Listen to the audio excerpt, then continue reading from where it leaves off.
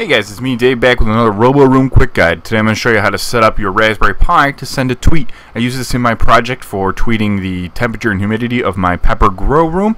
Pretty simple. We'll jump right into it. The first thing you're going to want to do is make sure that your Pi is to the state at which it has Raspi on it, it's updated, and it's upgraded. There's a quick guide on that. I'll put the link in the description. The next thing you're going to want to do is you're going to want to run sudo apt-get install python setup tools. It will ask you if you want to continue a little bit of a verification uh, down there in the bottom. So you're going to want to click yes. Next we're going to install sudo easy install pip. This is going to be used to help install Twython, which is the Twitter application for the Raspberry Pi will allow you to tweet. Uh, you'll obviously want to have your Twitter account set up, and then uh, we're going to need to get a couple of API keys from that account uh, once we get into the actual program. Once that's done, we're going to do sudo, and we're going to use pip to install Twython.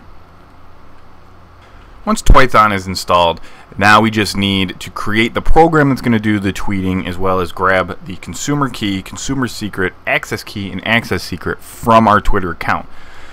But let's jump into making the application first. So we're going to do nano tweet.py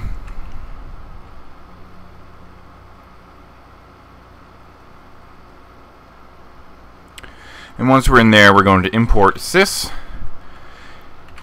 from Twython, import capital T, Twython. It's a hard word to say.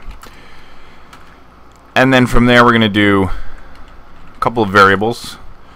Consumer key equals, and just leave empty um, parentheses there. Consumer secret equals access key and access secret.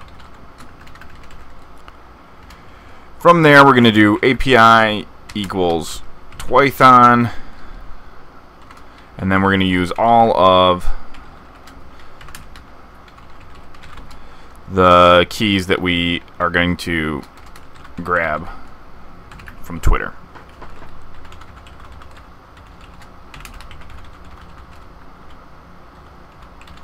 Make sure you spell those all correctly because if you don't, you're going to have some runtime errors.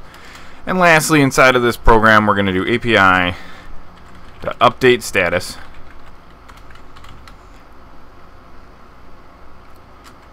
Open brag, open parentheses. Status equals, and we can either put uh, an actual statement in there to update it from here, or we can do a sys.argv square bracket 1. And what this will do is it will grab the next thing that we type after running the program and use that as the uh, the update. But what I'm going to do is I'm going to put a hello world there and close that off. Now let's jump into Twitter and get the information that we need uh, the from the consumer key and access keys. To get the keys that we need, you're going to want to open up apps.twitter.com and log in with the Twitter account that you're going to be using. You're going to go to create a new app, name it, give it a brief description,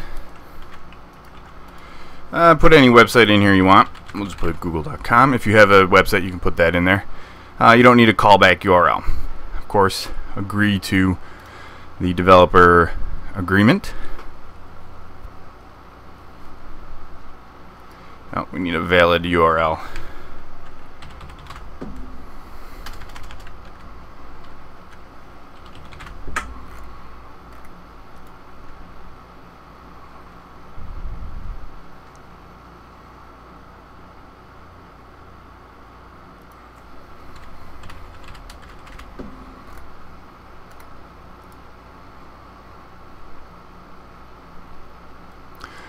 Once we're in here, we're going to go to the keys and access tokens section. This is going to be the consumer uh, key, consumer secret, and then down here you'll want to create access tokens.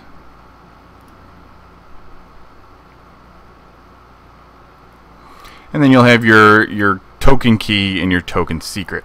So you're going to want to copy these and paste them into your program. So consumer key,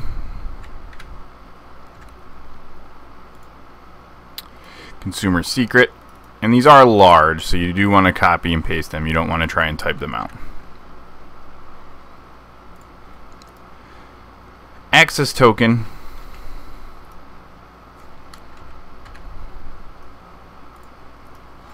And access secret.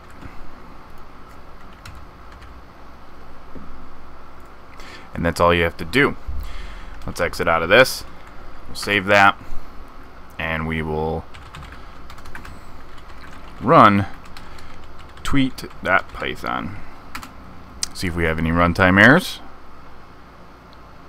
Nope, and it looks like it went through, so we'll jump over to Twitter.